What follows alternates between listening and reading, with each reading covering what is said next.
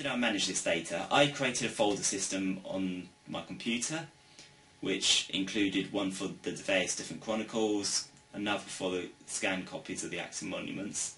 The printed version of the Acts and Monuments that I made, I put into coloured folders, so um, blue for the second book of the Acts and Monuments, purple for the third, green for the fourth, which actually took up four folders.